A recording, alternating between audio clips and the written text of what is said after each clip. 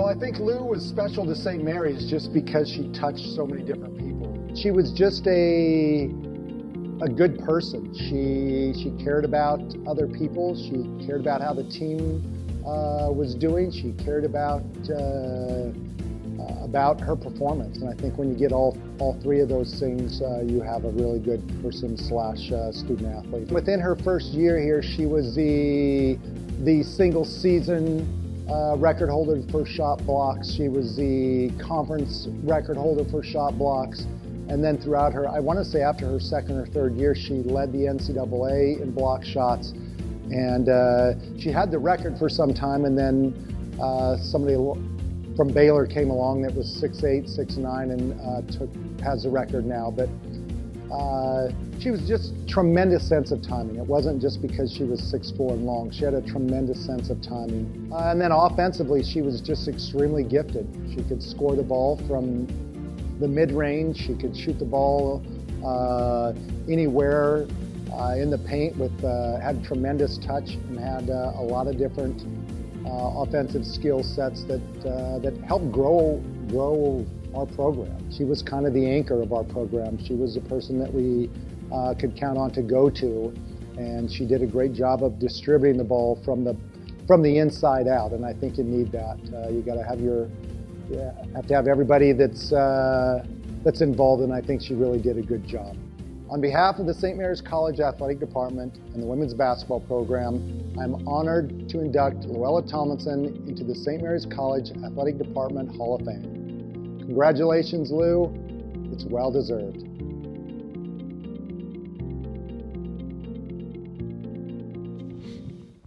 How you doing today, Lou? I'm okay. Very colorful. Very colorful. We, Thank we you. all like that. Uh, we all like that you're a colorful person.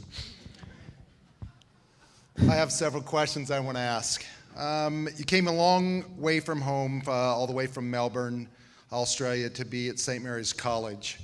Um, other than dealing with me on a day to day basis and hearing my voice, uh, that I'm sure you still to this day, um, what was your biggest adjustment coming to Moraga from Melbourne?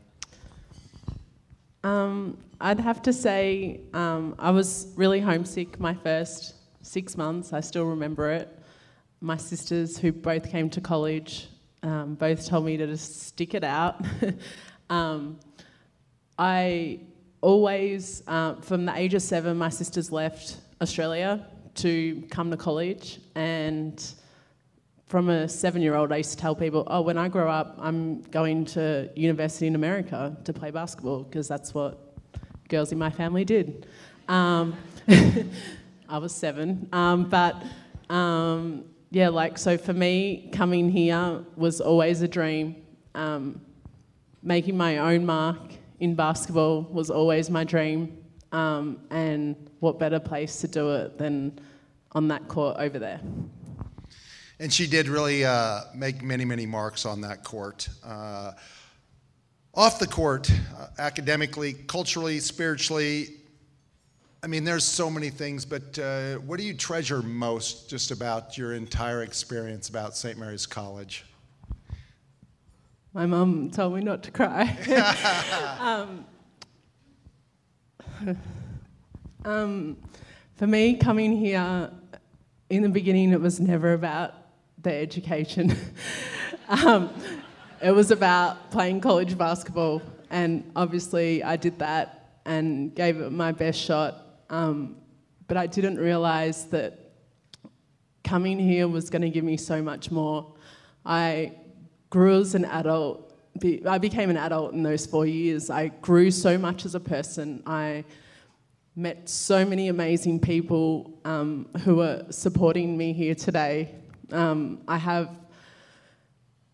um, Leanna's here representing my team. I've got Coach Thomas here with me. I've got the Levex who um, I played with their daughter Alyssa, and they just took me into their home and gave me a family when I was so far away from mine. I've got Ted and Vicky who were my scholarship supporters. Um, I've got the Philippex down the back there, and so many amazing people in this room who supported me in every single game. And Dave um, used to tell me my stats at the end of every single game, and and I'd be like, like if we lost, I'd be like, don't talk to me, Dave. Like we just lost. But um, but for me, while I thought it was about coming here to play basketball, it was so much more. And it was coaches always tell me, you know, you get one opportunity to play with that group of girls. You get one opportunity to be on that over that sideline with that group of girls. So make the most of it. And for me, coming here and making St. Mary's my home for four years, it was about the people I met and the people that really touch my heart and the people that I still think about daily and that made, made this place just amazing and made me coming on campus on Thursday feel like I could take a breath because I was back home. It's awesome, Lou. Very well said. You've been playing geez, your entire life, basically. I remember when I went over there to visit uh, you in your home and your mom showing me pictures when you were uh, a lot less tall. Um, but you've created so many basketball memories. You're playing professional basketball right now. Um, can pick out one or two and just uh, tell everybody what's special about it? except the one where I just yelled at you nonstop when we were over in Pacific. So don't, don't tell that story.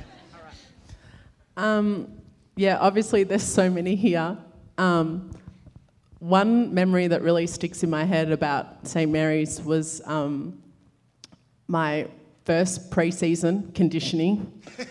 Leanna can can vouch for this. There was three of us who were freshmen, and it was really hell, like nothing I've ever experienced before in my life. I think we all puked. We all like got in trouble for have, needing to go to the toilet during running lines. I don't know, but it was really an emotional four weeks for me, to say the least. Um, my homesick was at an all-time high then, um, but yeah, playing overseas, um, I got the opportunity to play a couple of seasons, uh, four seasons in Europe and I actually won a uh, Hungarian national title with Hungary's best ever player. She was a point guard playing her last season. She was 40 and she was incredible. She actually played in the WNBA. Um, and we won the national title in front of 5,000 fans, but it was pretty much like McKeon playing Gonzaga like men. It was there was drums, people banging like I don't know, whatever they could against metal pipes and like we couldn't even hear the coach in a timeout. So for me, that was just an amazing experience.